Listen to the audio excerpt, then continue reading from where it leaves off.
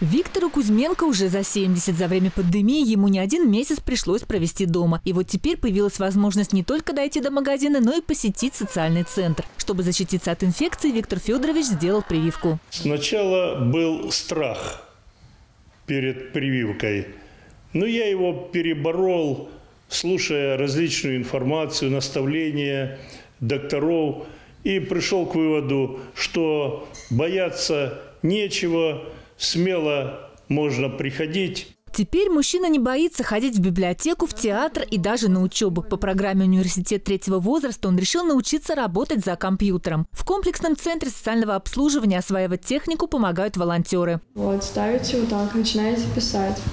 Чтобы сделать большой шрифт, нужно нажимать на Shift и начинать буквы. Ясно.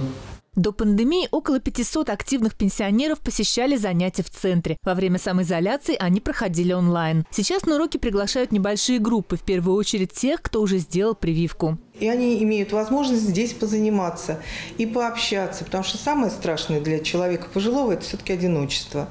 Вот мы считаем, что а, действительно вот это наша такая масштабная кампания по вакцинированию да, дала возможность именно старшему поколению почувствовать себя свободнее, увереннее. В социальном центре пенсионеры могут взять на прокат средства реабилитации, которые помогают в быту. Виктор Абрахин пришел сюда за тростью. Говорит, без нее на Скользкую улицу просто не выйти. У нас несколько моделей есть тростей. Я думаю, что вам нужна трость со штырем. Ну, да, да, да, да. Пенсионер тоже недавно прошел вакцинацию. Привиться решил не только из соображений личной безопасности. Ну, чтобы бороться с эпидемией, так сказать, в целях ну, всего общества. Ну да, сейчас, конечно, я и сам могу меньше остерегаться, вот то, что заразиться, и, и людей других, э, так сказать, не могу не, не заразить.